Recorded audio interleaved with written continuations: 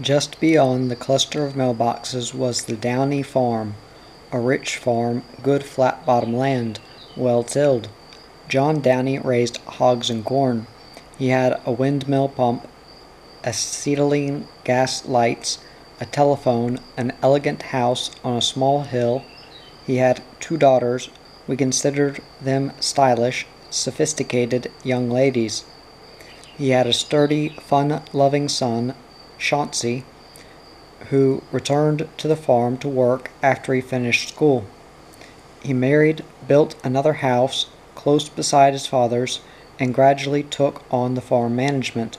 The Downeys were friendly, sociable people, always hospitable and interested when we asked to use their telephone in emergencies, such as the time the orchardist fell out of a peach tree and split open his scalp, and Dr. Sandy came out and sewed it up with the hair from a horse's mane. The morning our sister Kathleen was about to be born, my father went to call the doctor from the Downey telephone, and one of the Downey girls was getting ready for her wedding that day. The Downey men were progressive farmers and made money from their land without off the farm income. They educated their children, went to church in town, lived well, had a good time, were kindly, paid their taxes. The son who followed in his father's furrow did even better. The state never even considered offering to buy their land for the forest reserve. Now the town road itself was gone, the childhood farm we remembered was gone utterly. Nina and I sat in the car a few minutes looking thoughtfully at the place where the road had formerly gone down the hill. I thought of the story in my high school German book about the city of Germelshausen that sank beneath the sea and reappeared only one in every hundred years. A hundred years from now, who will own this land? It has known many owners, will have perhaps many more. For the land belongs to no man, however much he loves it. Probably the change was inevitable. Ours was not a repeatable pattern. Times have changed, people's ways of living and thinking have changed. As a public forest reserve, the land serves many people who need it. By the time Nina and I had driven back to the precinct, sunset was a great orange-red finality poised above the blue dusk. We hurried suddenly, feeling a great urgency to get away. We were not comforted. It would be a long time before we would know comfort after fulfilling the assignment ahead of us, but we were strengthened for it and it seemed significant that in a time of acute distress, when we had to accept an unacceptable fact, it was to the land we turned for wisdom and strength, to the land we had known and loved in childhood, the land man's eternal kinsman.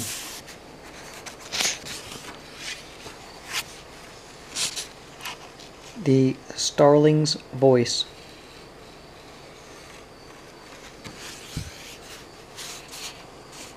He ain't doin' any good, Miss Blewett said in a harsh whisper. She was hard of hearing and her voice was habitually loud, as it as if she assumed all her listeners also were slightly deaf. With quick, bird-like steps she crossed the room to where Dakin, long and bony, lay on the bed with his face turned to the wall. She bent over him briefly, peering with bright dark eyes, then returned to her visitor. I can't tell whether he's really asleep or not, Delithy said, she said. Let's go down to the kitchen where we can talk. You can come back up before you leave if you want to. She led the way down the narrow stairway to Dakin's kitchen, where a fire was dying out in the cavernous smoke blackened fireplace. The kitchen had the smell of a room in which one man has lived alone for a long time. A table with, with leaves dropped under a worn oilcloth occupied one corner. A milk bucket and strainer were turned upside down on it. Near it was a cream separator, In another corner was an old kerosene stove encrusted with the accumulation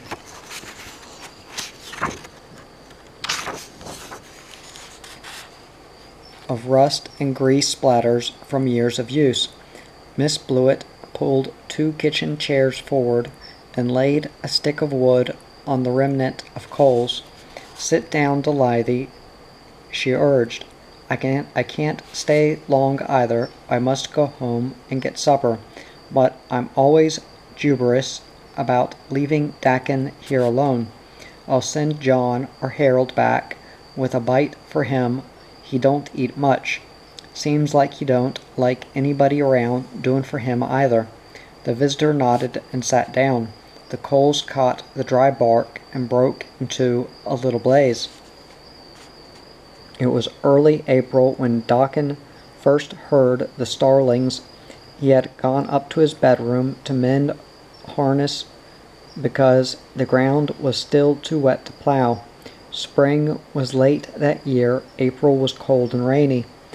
Dakin had planned to break the southwest pasture that had been in sod since the spring of his mother's death eleven years earlier. He looked forward to it. Of all the farm work, the breaking of sod was most satisfying to him, and without realizing it, he had developed it into a kind of ritual. Rain delaying the fulfillment of the ritual frustrated him.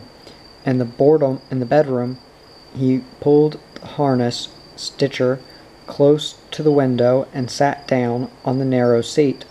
It was an obsolete tool. Even his father had discarded it years earlier. It had a foot operated lever, something like the pedal of a bicycle by which a pair of wide wooden jaws above the seat were opened to hold strips of leather for stitching together. The stitching was handwork, done with long needles and linen thread, which Dakin waxed by pulling it across a lump of beeswax. Dakin used the harness stitcher because he never threw away anything. He kept it in the bedroom because the light was better there from a south window than in the kitchen, where there were only north windows. These two rooms formed a small wing to his brick to his big brick house. There were eight other rooms in it, but Dakin seldom ever went into any of them. He broke off a length of thread, and as he drew it across the beeswax, he became aware of the low murmur of young starlings. The sound came from the attic just above his head, and it did not then sound particularly harsh, nor even unpleasant. Dakin remembered he had noticed a broken board just below the eave er earlier that spring. I reckon that's how she got into the attic, he said. In the bedroom was a rocking chair his mother had always liked, and near it an ugly square table with legs splayed out at sharp angles and clutching glass balls in their claw feet. A tall chest with varnish roughened and checked from too many winters in a cold room stood near the unused chimney. There was a flue hole in the chimney, but Dakin had never put up a stove in the room. He used this room for many uses. He had stretched a piece of heavy wire across one corner, and from the wire hung a few joints of smoked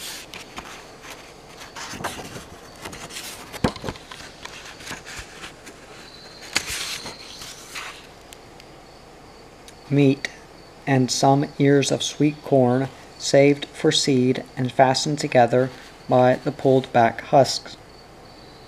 In this chilly bedroom, Dakin mended harness he did not need and probably never would use on his one team of horses. By noon, when he went downstairs to prepare some dinner, he was glad to get away from the repet repetitious, harsh murmur of the young birds. In the kitchen, he lighted a tall smoked burner on the oil stove and set the tea kettle over it. From a wide cupboard built into the wall beside the fireplace, he took out a kettle, of cooked vegetables left from supper of the evening before, and part of a loaf of bread still in its wrapper. Duncan used very few of the pans and spoons and housekeeping tools left by his mother in the deep cupboards. He scarcely knew it, in fact, what was on their shelves. He had lived in that house all of his life. His grandfather had built it, making the bricks from clay dug out of the fields.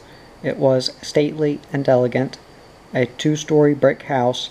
There were four square rooms downstairs, separated by a wide hall that ran the full length of the house, and four more rooms exactly like them upstairs.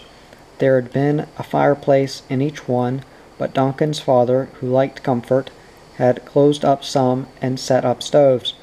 All the cupboards and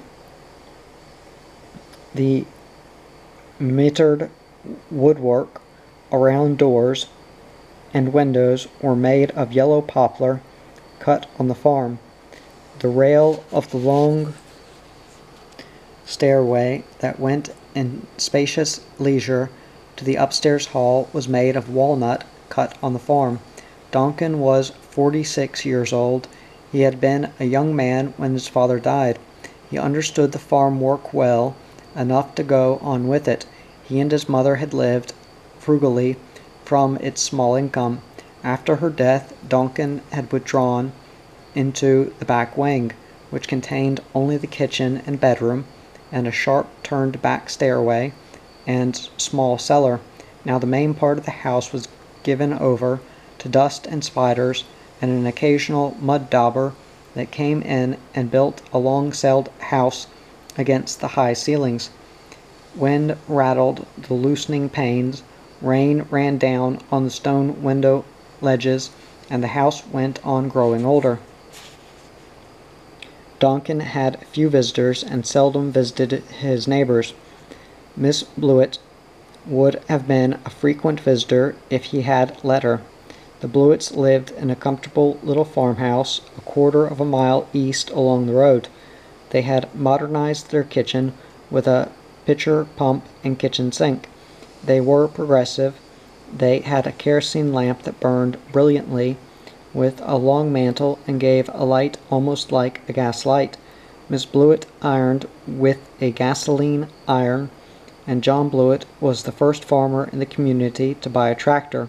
It had high steel tires with lugs, and he was not allowed to drive it on the road. Their boy Harold was in high school. Miss Blewett liked to talk and cook. Sometimes she brought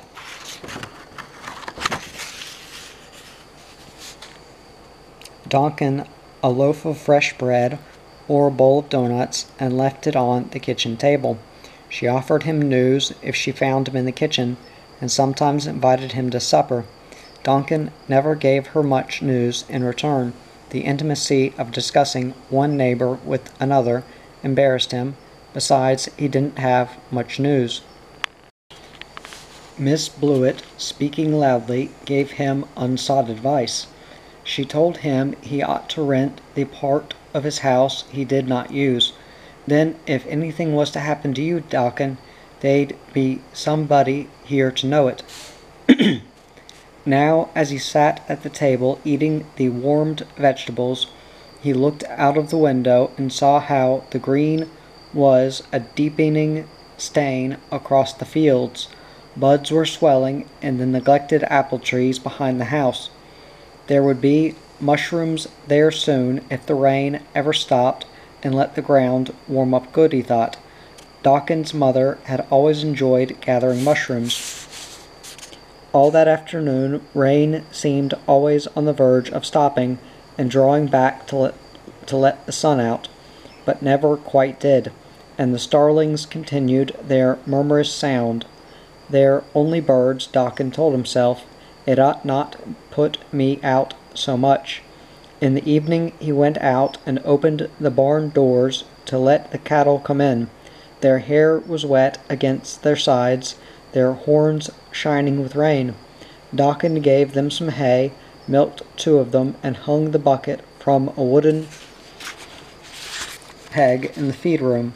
The bucket was barely half filled. John Blewett had advised Dokken to sell the six cows and put the money into hogs. What good is it, he reasoned, to milk just enough that you were to have cream to get rid of and not enough to have whole milk to sell? But Dokken went ahead in his own way, separating the cream, keeping it cool in the cellar, and getting it into town about once every two weeks. Sometimes John Blewett hauled it in for him. He left the milk bucket hanging while he went to close the door of the sheep shed at the far end of the lot. The path to the sheep shed went past the loom room that had been a busy place when Dokken's grandmother was mistress of the farm. The carding reel and spinning wheel she had used were there now, dust covered. Dokken's mother had never used them. She had helped Dokken's father and Dokken afterward at the smokehouse. There was a long wooden trough in the smokehouse for brine curing meat, and a big iron kettle in which the rendered lard. In a small dark section of the smokehouse, the hams and shoulders and wide, thin slabs of bacon had been suspended from hooks in the rafters and smoked slowly over fire that was never allowed to blaze. Dokken still butchered a hog every year and smoked the meat there, but the butchering was done at the Blewett farm when John Blewett butchered. One man can hardly handle it alone. The sheep had gathered in the sheltered part of the shed. The spring lambs, frisky and strong legged, leaped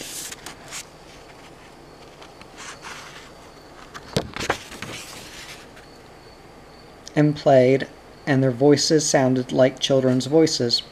Dawkin drove them into a compartment that had a door he could close and fasten tightly. Angrily, John Blewett had sold his sheep because every year, once or twice, stray dogs got into the flock and killed and maimed some, and caused some of the ewes to lose their lambs. It was a dirty shame, he told Dawkin, because in that hilly country sheep raising would have been more profitable than crop farming, except for the dogs. Dokken kept only twelve ewes. He liked a small flock. They ate a good many kinds of weed cows wouldn't eat, and he liked seeing them docilely grazing in the fields or getting up in the morning after a hot day and going slowly out to the pasture. The rain dimmed late afternoon had sent the chickens to roost early. Dawkin went into the hen house and gathered the few eggs some of the hens, in a fervor of spring plans, had stolen out nest and were hiddenly sitting on the eggs they had laid in them. Dawkin put five fresh eggs into his jacket pocket, stopped at the barn to get the milk bucket, and returned to the house. Rain was still dripping like spent tears that cannot stop when he went to bed. Once, when the starlings began their clamor above his bed, it bothered him. I'll have to learn to like it, or it'll drive me crazy, he admitted finally. But he could not learn to like it. It began softly, a sound shaken back and forth rapidly, increasing in loudness as it continued, and always subsided after an almost intolerable length of time but it always began again. Day after day that week, as Dokken sat in his chilly bedroom, the voice of the young starlings became more difficult to endure. Once he went, he went downstairs and got the broom and used it to beat against the ceiling. Finally, a morning came when the rain had stopped, the sun came out, and the ground was dry enough to break. Dokken curried the horses as if for a ceremony, harnessed them, and went out to the field. As he drove in between the sawed stone posts at the gateway, he heard John Blewett's tractor already plowing the field across the road. although he knew John Blewett would be done with his hundred and fifty acres before he could get twenty five plowed with a team and walking plow. Dokken was jubilant as he prepared to lay off the first land. He could not have expressed this exultation in words, nor explained why. With the plow point in place and the team waiting for his get up, he had to pause, take a deep breath, and look across the thick greening sod of this field. This was his best field. It lays well, Dokken thought with, with satisfaction. Green and fertile, it was enclosed by a stone fence that followed the natural contour of the land. His grandfather had laid out the fields and hired expert stonemasons to fence them with flat stones, brought in on ox carts from back on the farm. Their deep underground foundations made them secure against burrowing animals or frost heaving. The top of the fence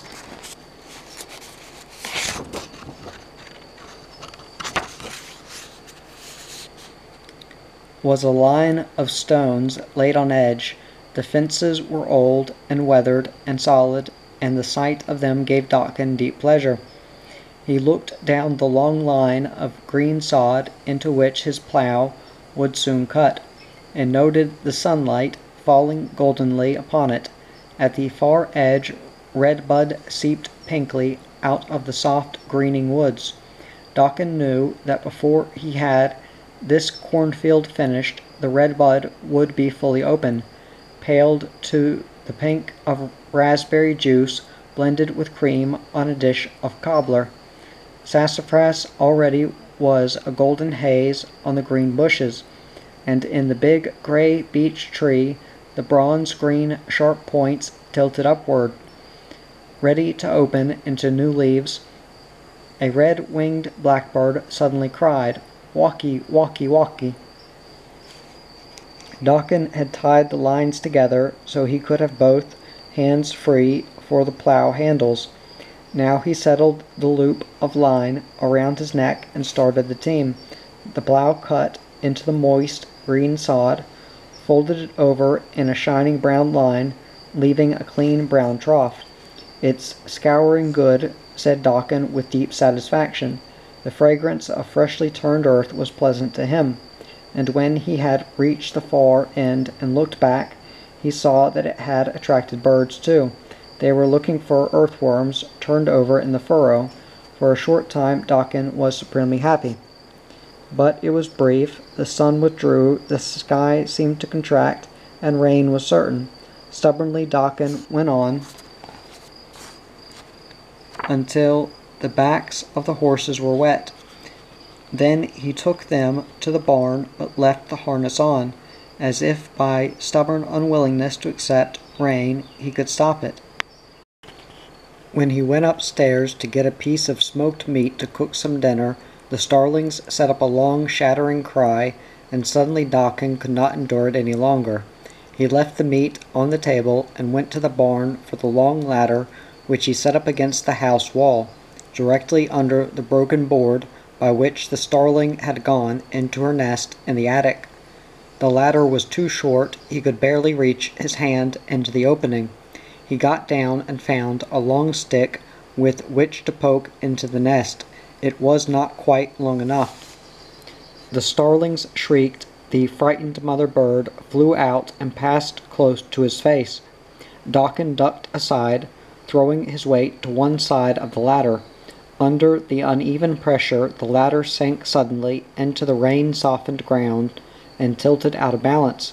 Dokken clutched for the eave, missed it, and felt himself falling helplessly outward, plunging into pain and then darkness.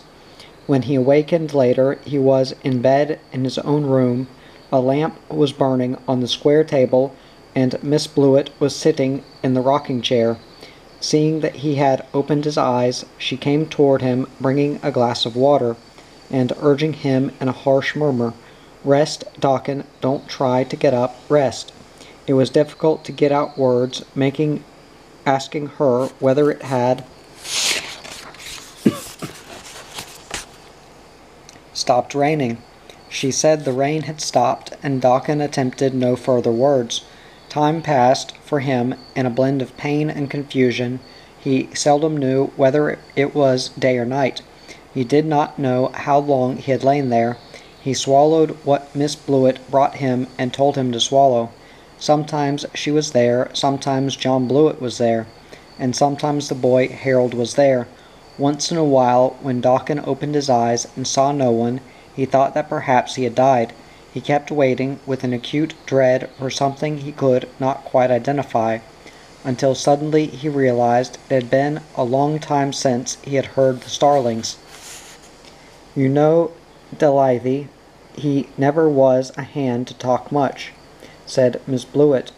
She spoke loudly now that they were in the kitchen, and she did not feel required to whisper.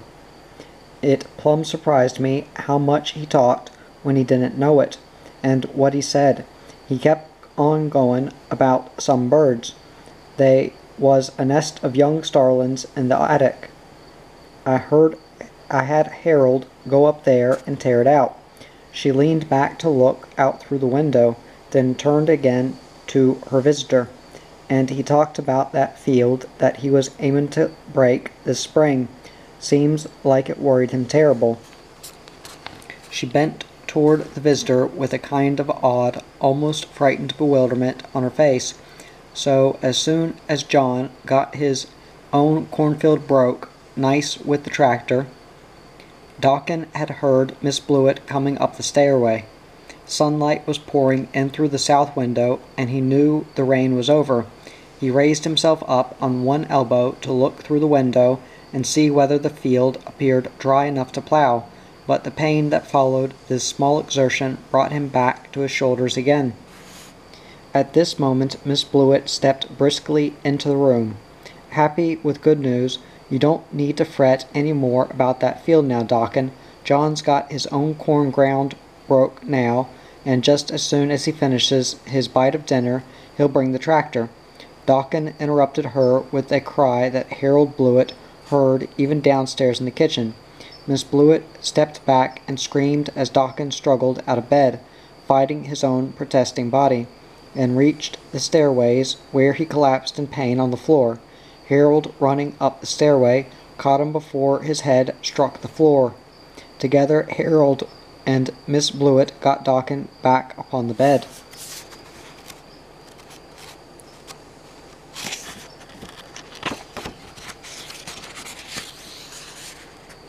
I tell you, Delithy, continued Miss Blewett in the kitchen, I wish you could have seen the look on his face.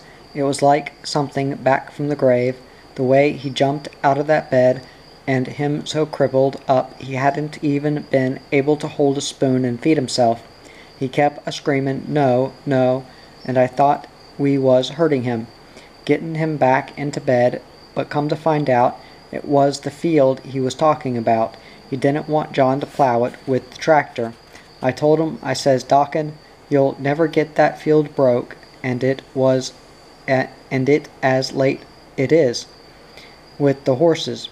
But he just kept hollerin' and moanin' until John come in and promised he wouldn't touch it. Then he got quiet. He's been mighty quiet ever since. She was silent, looking out of the window at the spring swept land. Do you want to go up and see him for a minute, Delithy? The visitor shook her head, no, and Miss Blewett went with her to the back door. Looks like it's really spring now, don't it? she said cheerfully, harshly. Well, come back, Delithy. Upstairs, Dakin lay still, his whole body ached, but he was grateful to Miss Blewett that she had not let him die. He felt a deep sense of sorrow, of loss, but also of peace. It was almost the way he had felt at the death of his father. father.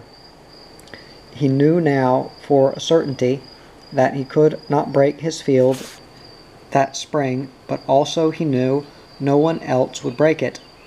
This was his portion of earth. He thought now of the clean brown yielding furrows the fragrance of freshly turned sod, thinking he surrendered himself to a profound peace, he was kindred of, of the earth, and, like it durable, he too could wait.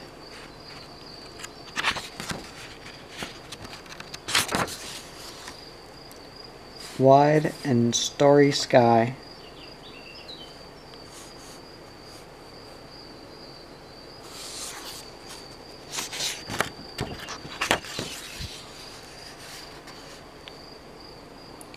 Walter Peden always said he had lived in Spencer longer than anybody else had. Always, that is, after he had become old enough to boast about his age, and had begun singing his family letters, Grandpa at 90 plus. He lived to be 95 years old, and in his last years, when he had finally delegated the care of his Owen County Creek Bottom farm to his third son, Mark, he spent much of his time reading, keeping farm records, and writing letters to the families of his sons Tom and Dick, and to people whose public records particularly engaged his interest. He had always read extensively newspapers and histories, especially Civil War history, even in the busy days when he and his brother Howard drove a horse and buggy out to their partnership farm near Rattlesnake Creek every morning. In the later years, when they drove a partnership car, Walter still got up in time to build a fire in the coal burning water heater in the kitchen, make coffee and eat breakfast, and have an hour for reading before going to the farm. For although he was insatiably a farmer, and his father and grandfathers and great grandfathers had been Owen County farmers, he did not live on his farm. He had lived in town from the time he was seven years old, when his father, growing wealthy and successful from farming, moved into the little county seat town. When Walter and Clara were married in 1903, they began housekeeping in the town and never moved to the farm. Grandpa Plus lived in a big white house on Washington Street. It had three living rooms connected by sliding doors and a wide hall with a stairway in it. There was a round window of imported red glass in the south wall above the stairway landing. When the sunlight came in through the window, it turned everything red that passed it, and whatever was already red, a woman's dress or somebody's lips, seemed to lose its redness. Clara Niece had always wanted to live in that house, but it was not until after her fourth son was born that she attained it.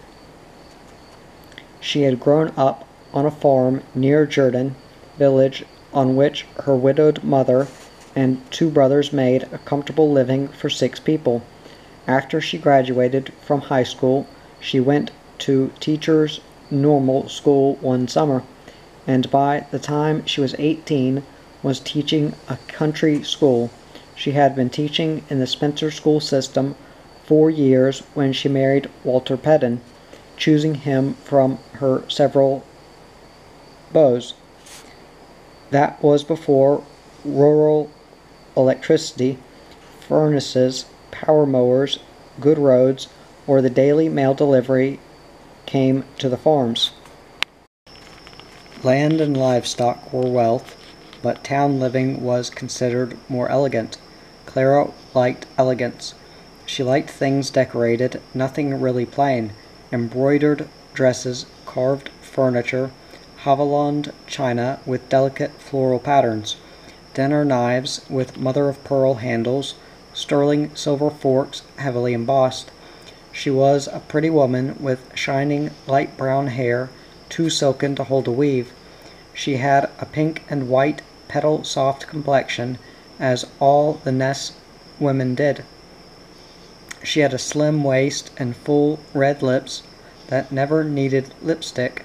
She liked to sing.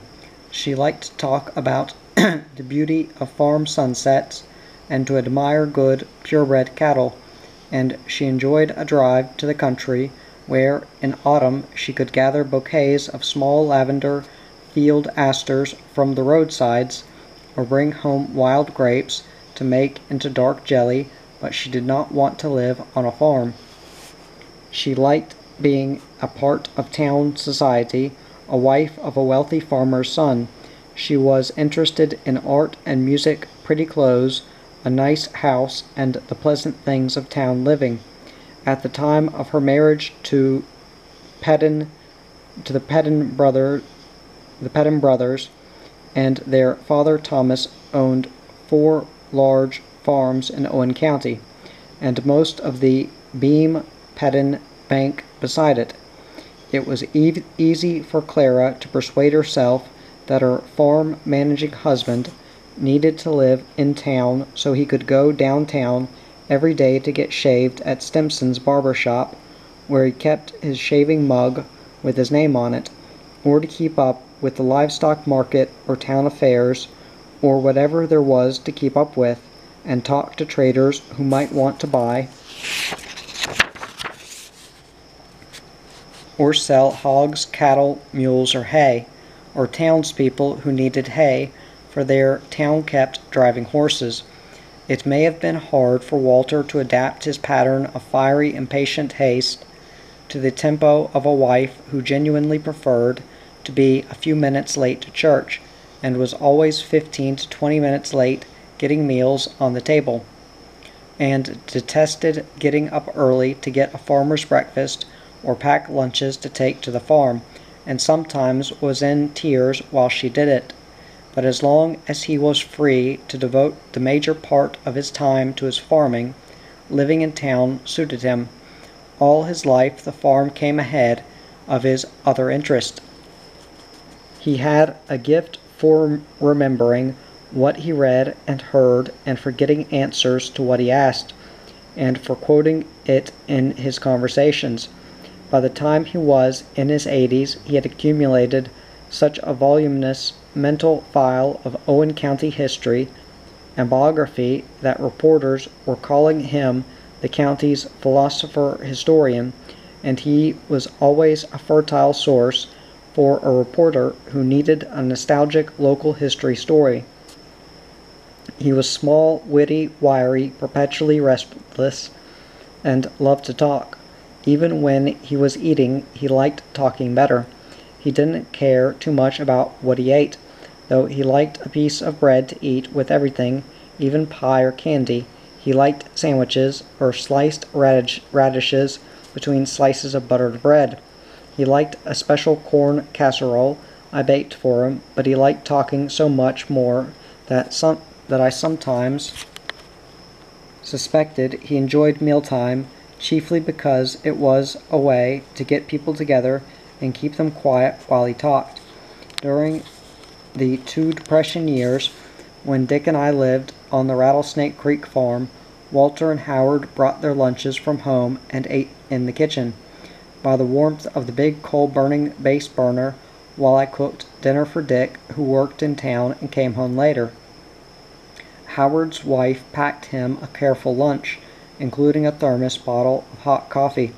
The thermos bottle was his special pride, and he showed me its temperature holding glass lining, explaining it. One day in particular, I watched the two men at dinner, Walter sitting cross legged on the front on the floor in front of the stove, eating buttered white bread and talking. He was enjoying himself so much I secretly buttered a slice of bread and ate it to see if it could taste that good. It didn't, of course, but then I was not sitting on the floor, cross legged and talking like a motor at a drag strip. Howard was sitting on a chair in the corner behind the stove, quietly enjoying his sandwiches and little dishes of applesauce and baked beans. He finished the last drop of coffee, replaced the thermos cork, and gave it a loving tap too firmly. The glass lining shattered, and Howard looked across the room at me with an expression of positive bereavement on his face. Walter went right on talking. Walter's birthday was on May 25th, and traditionally Clara baked strawberry shortcake for him that day. Somebody usually gave him a box of cherry cocktails, his favorite, candy. Clara was an excellent cook and enjoyed holiday dinners and family homecoming meals which she prepared in the inconvenient too small kitchen of the big house and served in the dining room that looked out upon a side street. In this room she had three glass doored cabinets, filled with pretty, fancy, and old dishes. By but by the time Walter had become grandpa ninety plus, she was not able to do much cooking. They went to their sons' houses for Christmas and Thanksgiving and birthday dinners. They had four sons Richard, Paris, Mark, and Thomas Milton. As soon as the boys were old enough to know the farm and occasionally go there and to work on it in summer, they wanted to move to it. But Walter and Clara never seriously considered moving to the farm. They hadn't even considered it earlier when the bank failed and Thomas Peden sold all the farms and the livestock, and living on the farm might have been thrifty. Rattlesnake Creek Farm, which Walter and Howard had bought back at that time, had a small, charming, two story poplar house built in 1849. It had a fireplace and a hand carved mantel in each of its five rooms. Colonial windows with small panes, wide, random width boards on its floors and inside walls, but Clara had no desire to live in it. They lived instead in other houses with far less personality. One, for a few hard years, was what Dick later described as a little shotgun house. You could stand in front in the front door and look right through all three of its rooms. It was so close to the tracks of the noisy cinder spouting train that no grass or flowers would grow in its yard, and the boys could not walk there barefooted. They lived in another house called the Goat House, because it was during that time the boys had a goat called Mabel, and harness and a little wagon to hitch her to. They moved later to a small, quaint, and much wanted house on Hillside Avenue. Their youngest son was born while they lived there, and from that house, despite the pleas of the older sons, they bought the Washington Street house and moved into it the first of the Peden family ever to live in the Rattlesnake Creek farmhouse was Richard. After he was married, we repaired the warped floor, floors and broken stairway, replaced the broken window pane, panes, roofed the house, and put back the small portico, painted and papered the inside, opened up the fireplaces and repaired them, and built a cistern. But it was not a successful arrangement after a couple of years, Dick transferred Howard's half of the farm to Walter, and we moved to a farm in, in another county. It seems strange that a man who said, I had to farm,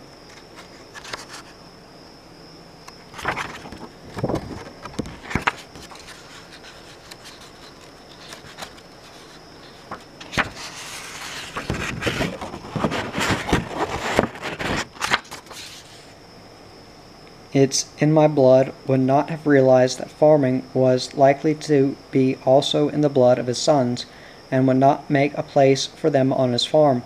But Walter had reasons for never taking his sons into actual partnership. He always said the farm would not support another partner. He and Howard went through the difficult depression years and years of being always on the verge of financial emergency, as well as through good years. Howard kept the bank deposit book but Walter wrote the checks and kept the meticulous, detailed farm records. Actually, I think he could never bear to share the authority of his farm with anybody until he had to. He and Clara never discussed the farm problems or made farm decisions together, and that was probably probably because the farm was a business, not their home. Creek bottom farmers did not use commercial fertilizer they counted on the fertility washing down upon their fields from the hill farms. The, they discounted the burrs and weeds that washed down with it. The sandy loam fields of the Rattlesnake Creek farm produced lavishly without commercial fertilizer, but there was always the menace of spring floods. The farm was threatened by flood waters of White River, which also invaded the town and of Rattlesnake Creek, which was nearer.